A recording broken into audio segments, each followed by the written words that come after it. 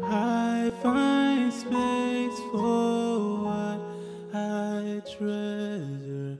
I make time for what I want. I choose my priorities and Jesus, your